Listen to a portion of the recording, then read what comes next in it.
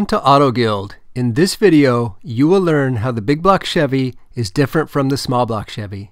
This video is like nothing that's ever been done before.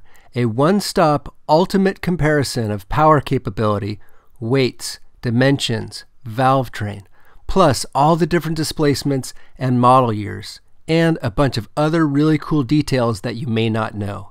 If you've seen my other videos, you know you're in for some in-depth, amazing information right now. This video will help you decide which engine is best for you, or at least help you win those late night engine arguments over a beer. And be sure to stay tuned for the end of the video where I will share with you the power output of two identically built engines, a 396 big block and a 400 small block. Let's do this. The small block Chevy came out in 1955, originally in the Corvette, but it soon made it into almost all other passenger cars. The big block originally came out in 1958 as the Mark I, 409, and 348. The Mark IV, which is the big block that we think about when we think about big block Chevy, actually launched in 1965. I'm not going to go into a long big block history lesson today. If you want me to do a big block history video, let me know in the comments below. Okay, let's start with displacements. The true difference between these two engines is more about displacement, bore, and stroke than overall size of the engine. Keep in mind in this video I'm focusing mainly on OEM passenger car engine sizes.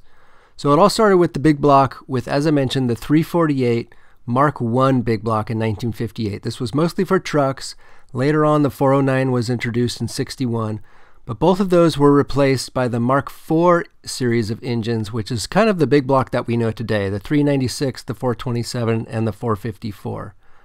Also, notice that the 402 replaced the 396 in 1970, but Chevy kept calling it the 396 in some passenger cars. And do also note that the big block lived on in trucks, crate engines, and other applications like marine. The small block started in 1955 as a 265 in the Corvette, went all the way up to a 400 cubic inch engine, uh, which started in 1970.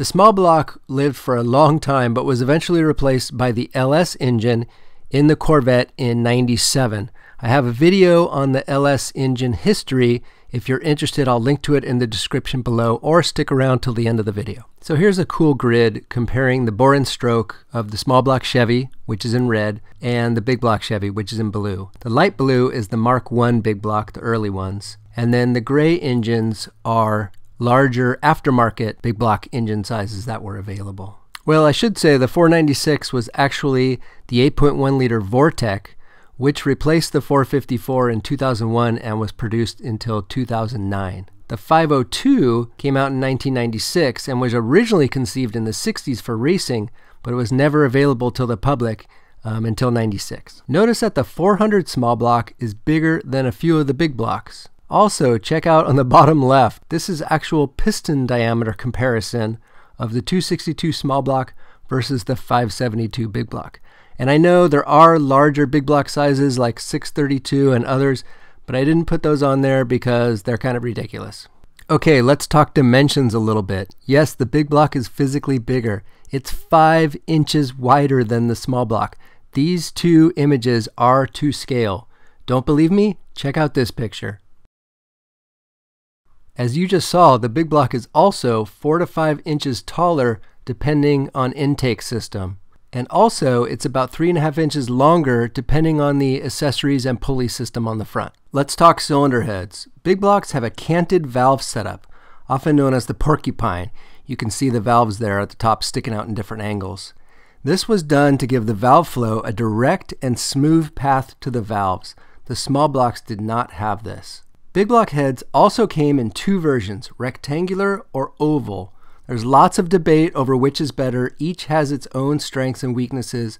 Original 1960s factory high performance engines featured the larger rectangular ports heads, which have higher airflow rates than the production oval port heads. However, the larger volume of the rectangular ports can produce slower air velocities at lower speeds. Because of this, the smaller port oval heads are often the better choice for a daily driver or street machine. Small block heads have only one style of port shape, and you can see there's a huge difference in weight between the two cylinder heads. And these heads on this picture are actually to scale. The small block had the exhaust ports Siamesed right next to each other.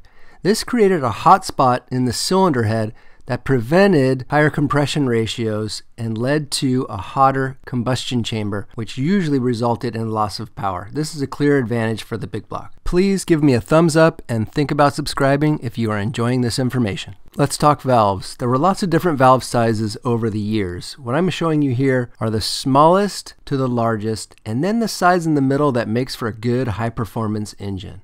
And one thing that jumps out right away is how much bigger the big block Chevy valves are than the small block. And bigger valves usually means more airflow and more power. And do also note that the largest small block valves are smaller than the smallest big block valves. However, some people will argue that the small blocks have bigger valves relative to engine size and displacement, so they're actually more efficient power makers per cubic inch. But the extra displacement of the big block usually means more total power.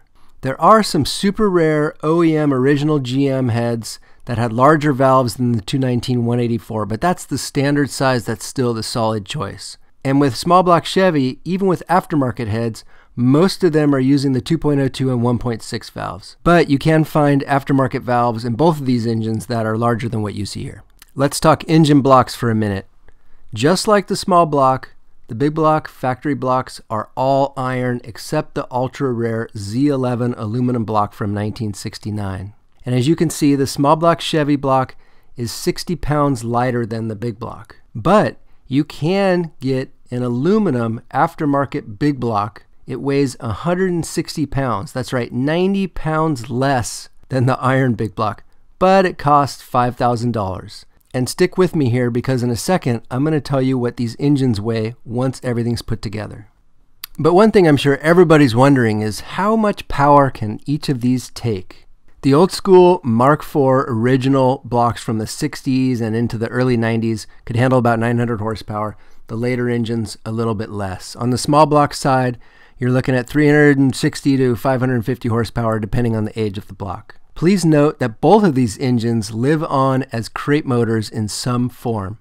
If you are into muscle cars and want AutoGuild's unmatched level of information, then please subscribe. From the factory, the big blocks rarely see more than 5,000 RPM, and that was especially true for the early engines.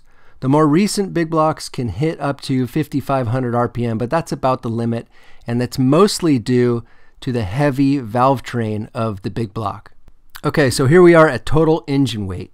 A complete assembled big block engine is around 110 pounds more than the small block, give or take the drive accessories, which vary slightly by engine. And remember, 60 pounds of that is just the block itself. I should also note that an aluminum LS engine will be about 200 pounds lighter than the big block. And that weight is off the front of your car too. So that's really going to help the performance, handling, braking, everything of your car by switching from a big block to an LS. This is one of the main reasons I want to swap an aluminum LS into my 68 Camaro.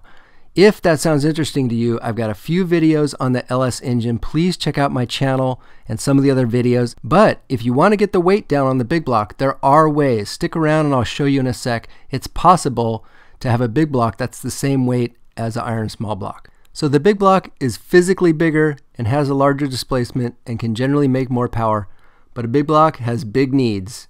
The big block is generally more expensive to build. It's going to have worse fuel economy. It takes much more space in the engine bay. It's going to be harder to maintain the big block because there's less room to work on it. You don't want to have to pull engines to change spark plugs. It's also going to require stiffer front springs if you're going from a small block to a big block, and bigger brakes because of the extra weight. And you may also want to upgrade to bigger front wheels and tires. It may also require a carb swap, and header clearance could be more of an issue because there's less room to run the headers. And if you're running huge displacement, it could require a larger exhaust like a 3 inch. And when you run a big block, there's less room for other also important stuff like air conditioning, brake boosters, steering boxes, steering linkage, accessory drives.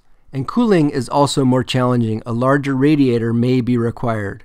As I mentioned, it's possible to make a big block as light as a small block. But first, I want to ask the big block owners out there, or those of you that are considering a big block, do you even care? Do you even care about engine weight? I'm kind of guessing not, but leave a comment below and let me know what you think. So how do you build a big block that's lighter than a small block? Have the best of both worlds. Have your cake and eat it too. I will show you how. So we know that the aluminum big block is already thousands of dollars, so forget about that. What you need are these five items. Want to stop for a second and recommend a couple of books if you are planning to build a small block or big block. These books come in two versions, a budget version and a high performance all out version. I've used these books in the past for LS and axles and all kinds of other stuff. They've got tons of books on any topic you can imagine. They're really, really popular in this space Everybody's using these. I've got links in the description below if you are interested. I highly recommend them. So, what would happen if you built an identical 396 big block and a 400 small block, exactly the same, same cam, both with ported heads? Hot Rod did it back in 1998. The big block produced 41 more horsepower and 22 more foot-pounds of torque than the small block. Power was achieved at 200 RPM below that of the small block. But the big block cost $1,300 more than the small block. I adjusted that number for inflation. It was actually $850 at the time. They also took the two to the quarter mile track. In the same car, the big block went about three tenths quicker in the quarter mile. But the big block costs more, like I said, but also weighed 140 pounds more. So there are factory small blocks that can achieve the power and torque of the big blocks. But the big blocks can do this kind of power continuously under heavy load and in heavy duty situations over long periods of time. So that's the reason why you tend to see big block motors in bigger medium duty trucks and other hardcore applications. Remember though that both the big block and the small block were replaced by the LS engine starting in 1997. If you want to learn more about that LS engine, then click on the upper left video right now, my ultimate LS engine overview, which has every single LS engine ever made and all the applications that it came on. I also have a video on the upper right there, the best LS engine for any budget. If you're curious about how the LS engine compares to the small block Chevy, I've got a video on that down in the lower left. Click on those right now. Thanks for checking out Auto Guild and good luck with your project.